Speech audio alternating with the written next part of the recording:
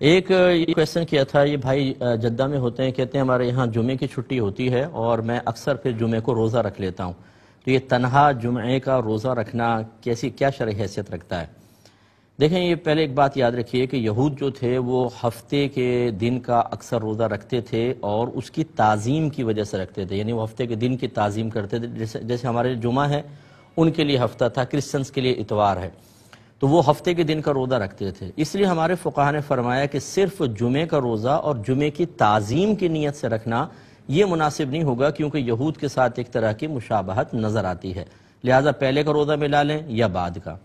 तो ये उस वक्त है जब आप जुमे का रोज़ा, जुमे की ताज़ीम की नीयत से रख रहे हो। अगर ताज़ीम जुमा का कसद इरादा ना हो, वैसे ही जुमे को रोज़ा रखें। जैसे ओलमा ने फरमाया, अगर एक कोई एक दिन रोज़ा रखता है, एक दिन छोड़ता है, फिर दूसरे दिन रोज़ा रखता है, जिसको सौम दाऊदी कहते हैं तो फ़र्ज़ कर लें कि बुध को रोज़ा रखा जुमरात को छोड़ा अब जुमा आ गया। तो वो जुमे का बिला कराहत रोज़ा रख सकता है। हालाँकि अब भी तनहा रोज़ा रख रहा है लेकिन ये जुमे की ताज़ीम की नीयत से नहीं है बल्कि ये तो आ, मतलब रेगुलर जो उसका एक रूटीन है उसके हिसाब से आ गया। बस इसी में आपका जवाब है अगर आप जुमे की ताज़ीम की नीयत से नहीं रखते बल्कि आप ये कहते हैं जुमे को छुट्टी होती है वैसे ही घर में होते हैं चलो रोज़े रख लें। तो इसमें शरण कोई हरज नहीं है आप तनहा जुमे का रोज़ा भी रख सकते हैं।